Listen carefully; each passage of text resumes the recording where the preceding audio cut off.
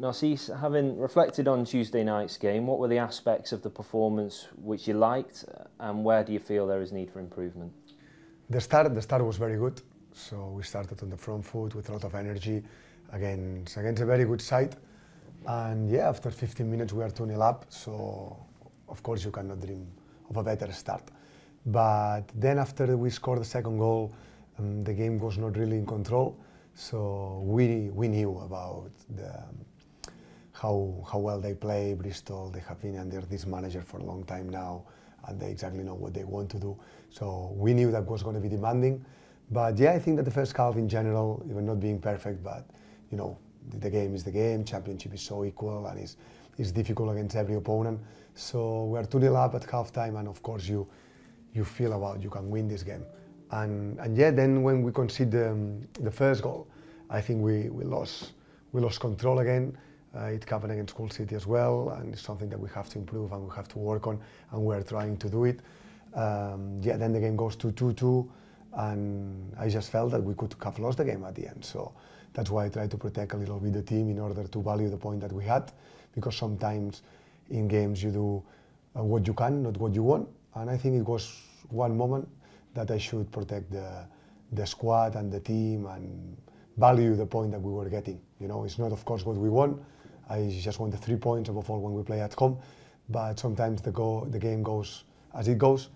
And, and yeah, there are positives, there are negative, but you know, in the championship, uh, it's so, so hard and every team is really good. So we have to try to value every point that we get, knowing that, of course, I just want more and more than this. You mentioned about control. What are the key qualities required to, to gain more control in matches? Yeah, sometimes you can control the game with the ball, but sometimes you can control the game without the ball. And, and yeah, knowing that Bristol is a, is a team that forces the game inside, that they want to control possession, and usually um, they dominate games by having the ball. They, they came from a, a win against Middlesbrough away, for example, it tells you the story, and because it's a difficult place to go and win nil two, so it tells you that they are a good side. But if we couldn't control the ball, we could have defended much better, just in our mid block, trying to be robust and solid, and then doing fast transitions, which are we're a very good team when we win the ball back and then we can run. But I, I think we didn't do it. We we talked at halftime trying to, to to now giving problems through the counter attack in, in offensive transitions after winning the ball back with our speed, but but we couldn't do it. Then we conceded one goal, the other goal too quick, and, and yeah, mentally we were gone. But I think that we managed well the last 20 in order to try to stay on the game and, and get the point that we got at the end. How were the players after the game, and how have they responded in the couple of days since? Yeah, it was hard. It was hard after the game, but this this is something that is is positive in my opinion because after Norwich game, after Swansea game, the team was with the feel we could have won that with a better with a better linking game. You know, after winning the ball back higher up the pitch, we had our chances at the end of the three games. You know, because we are in a good in a good place from the physical point of view. I think our fitness starts to be good, and we are getting chances in the last 10, 15 minutes of every game. And, and yeah, a little bit flat, disappointed, and all of us were disappointed because we want to win, we want to do so well for the club, and all the players and the staff were of course, disappointed with how the game went. But yeah, we have to come back. We, we came back, so we had a, um, two meetings to review the game, and now we are in a much better place to go and to try to compete against uh, Sheffield United. That is going to be a tough, a tough opponent away. But yeah, it's football, and we are looking forward to go there tomorrow. You mentioned fitness and physicality there. How do you manage the squad in what is such an intense period of fixtures. By the time of the next international break, this block will have comprised of seven matches in, in 21 days. Yeah, it's, it's a tough period in the championship. Uh, now until the next international break, uh, three three days game, three days game. So yeah, I think we need to, to manage and we have to give we need to give opportunity to all of our players. His cup game is coming against Southampton as well, for example, and the club has done well in the other two rounds, playing young young players, giving an opportunity to them to play. So this is what I have in mind as well. So I want just to rotate the squad and give a chance to these young players and, and other players that they have not been playing for, for me since I came because it just have been five weeks since I have been in the club. So I just want to give an opportunity to all of them and uh, take advantage as well to rotate the squad a little bit because I think it's important. Because if not, then you you can be in trouble with injuries and not giving chances to all the players that you can have. Everyone deserves a chance to be to be seen. Of course, you have a few injuries in the squad as well. How has Wouter Burger recovered this week? Is he is he close for Saturday? Yeah, we're trying to get him ready for tomorrow. Uh, we need to to to see how how it goes with him. He's not going to train with the with um, with the team today, so he's going to do his individual part. So we will see what happens after this. We'll make a decision. Um, it's not ideal, but he could be involved, he could not. But if not, we'll play another player. The championship will be a quarter of the season old after Saturday's game. What have you made of the division so far this season, and what do you believe is required to be successful in the division? Very equal, very equal. Usually it's like this in the championship in the five years that I have in here. Um, but I am in a good position to say, now that I have seen 80% of the teams, uh, that it's going to be a very equal championship. So, winning two games, you could be in a great position to to be in the in close to the to the, the first 10 positions, let's say. But losing two games, you could be very close to be in the relegation fight.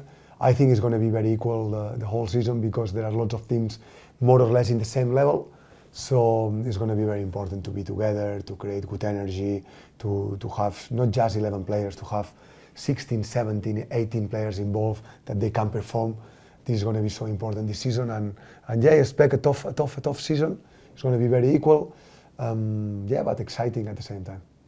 We head to Bramall Lane on Saturday for what will be Sheffield United's first home match since the terribly sad news of George Baldock's passing. Uh, it will no doubt be an emotional afternoon. Is George somebody you came up against during your time coaching in England? Yeah, I know him. I know him very well because I played against him, I think, in four occasions.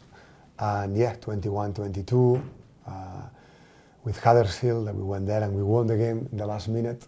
Such a difficult game, but we won. Uh, he played that game and, and then 22, 23 as well. You know, such a good player, right back very professional. It's just terrible news what has happened, and it's a good opportunity for me as well to send to send my love and our love as a as a Stoke um, family to the Sheffield United family and to his family. Um, it's terrible what happened, but yeah, we'll try to pay our tribute as well on, on Saturday and and go there and show our respect and love for the family and for the Sheffield United. Sheffield United are currently fifth in the Championship following their relegation from the Premier League. What sort of challenge do you believe they present us on Saturday? Yes, it's a very good side coming from the Premier League. Uh, lots of good players, experienced players as well, experienced coach. Um, I think it's going to be a, a, tough, a tough test for us. But it's a football game, you know, and it's going to be tough. But we can compete. We are going to compete, and we are going to make uh, things as awkward as we can for them. And, and yeah, I just believe in my team. So I'm looking forward to go tomorrow and see where we are at. It has been just five weeks now since I started this job, so I didn't have much time. But yeah, I think that we are in a in a good place. We are in the right path, trying to work in all this connection that we want between the staff, fans, players, trying to create one clear style of play. So I think that we we have seen already what we want to do, which is very positive in just five weeks, which is usually difficult to, to implement such a short period of time. So I'm, I'm, I'm happy, I'm, I'm, I'm, I'm committed, I'm, I'm looking forward to, to, to keep working with these players and of course to go tomorrow in probably the, the biggest, the biggest test that we, we are going to have so far. And behind you there will be almost 3,000 Stoke City supporters in the away end at Bramall Lane. You mentioned you've been here for five weeks. What have you made of the support that you've received during that time? Yeah, it's, it's just it's just beautiful to see. No, I received a lot of support. To be honest, support that I feel I don't deserve, and I, I'm very grateful. Very grateful because they have been exceptional to me, and and and yeah, now we have been four four games unbeaten, which is very positive. We won one game, just but the love and the, and the support that they are giving me, not just in the stadium as well when I am in Stoke, is, is, is really nice to see. And I feel that I don't deserve, but 3,000 fans coming to Sheffield, hopefully, and I wish we can give them something to cheer about. And yeah, we'll need to fight for them.